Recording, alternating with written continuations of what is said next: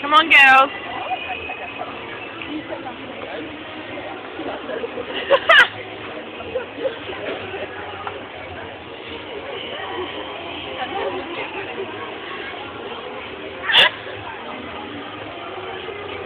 carry away.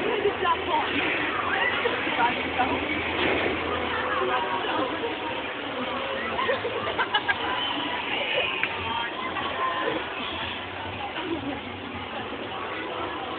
you.